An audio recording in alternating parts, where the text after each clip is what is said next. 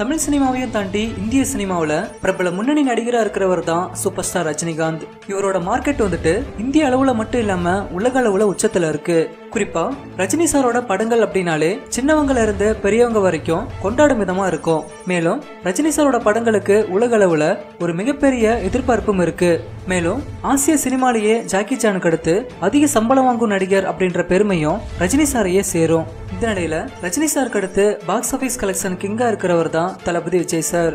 இவரோட படங்களுக்கும் உலக அளவுல ஒரு மிகப்பெரிய மார்க்கெட் இருக்கு. விஜய் சாரோட படங்கள் எல்லாமே குடும்ப ரசிகர்களை கவரும் விதமா இருக்கும்.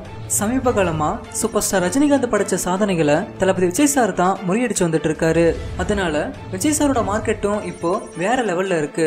மேலும் தமிழகத்தையும் தாண்டி கேரளாவிலும் ரஜினி சாருக்கு இணையான வசூல விஜய் சார் கொடுத்து வந்துட்டு இருக்காரு கேரளாவிலும் விஜய் சாருக்கு ஏராளமான ரசிகர்கள் இருக்காங்க.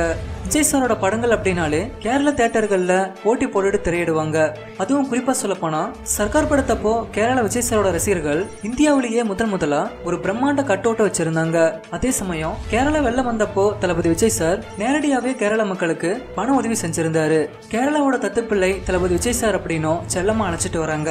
இந்த நிலையில தென்னிந்தியாவில் தமிழ் மொழியிலிருந்து நேரடியாக கேரளாவில் வெளியாகி அதிக வசூல் கொடுத்த பத்து படங்களோட பட்டியல் இப்போ வெளியாகி இருக்கு Mersal I two point O Theri Kabali Sarkar Enthiran துப்பாக்கி கத்தி பைரவா.